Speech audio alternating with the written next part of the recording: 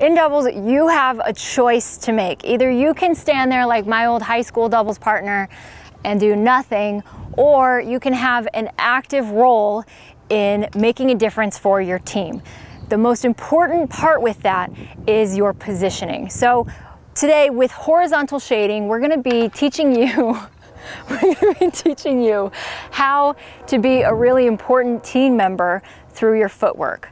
Um, the guys are going to be moving as a team. I want you to actually imagine that they have a rope tied between the two of them because they're going to be following the ball for a series of 10 feeds that I make. So you'll notice if one of them happens to get pulled out to the alley, then the other one must cover for him or else they're going to get burned up the middle.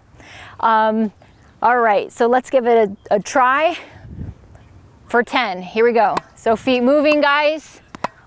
Always going, always following your partner.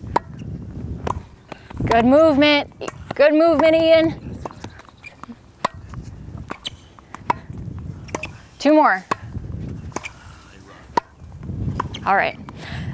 So that's it. It's a very simple drill. You can have somebody feed to you. Uh, you can make it as hard or as easy as you would like, but it's very important. It's critical that you move your feet, you keep them moving in order to be an active and contributing member of your team.